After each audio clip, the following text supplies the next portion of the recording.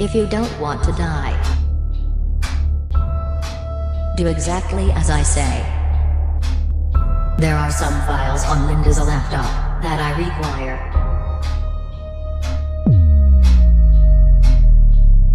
Fail. And you will reap the consequences.